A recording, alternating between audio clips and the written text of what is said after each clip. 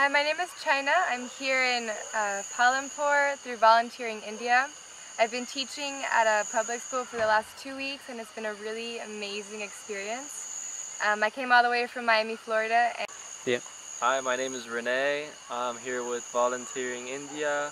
I've been in Palampur for two weeks now teaching at a school for elementary, middle, and high school as well. It's been incredible. The students are amazing and the program has everything I've ever asked for and more. We've been teaching together at the Newgall Secondary School um, in Bawarna and it's uh, approximately 300 students and they're from the age group of you know kindergarten uh, class to 12th grade.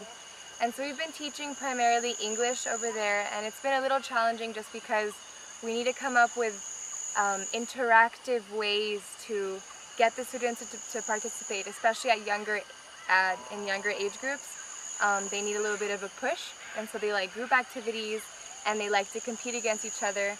So, so far it's been really amazing and we've had a lot of great results and we feel like a lot of the students are opening up.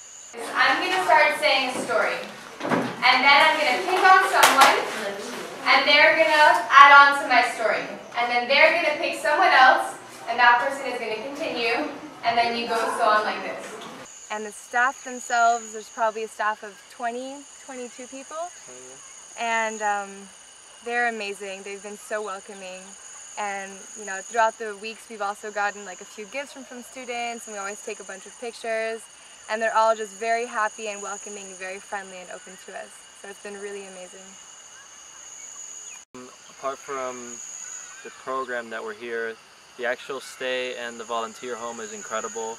The staff is more than we can ask for. They uh, go above and beyond to treat you like family, to take care and cater to everyone's needs. Us being vegan, we thought it'd be a little trickier in the kitchen, but the chef is incredible and he's actually been able to set up some meals that we've fallen in love with. So um, I would recommend this program to everyone. It's incredible. The stay here is clean, the showers are warm, and the friendly staff and the friendly other volunteers are amazing. So you actually feel like you set up a small little family in India, and it's incredible.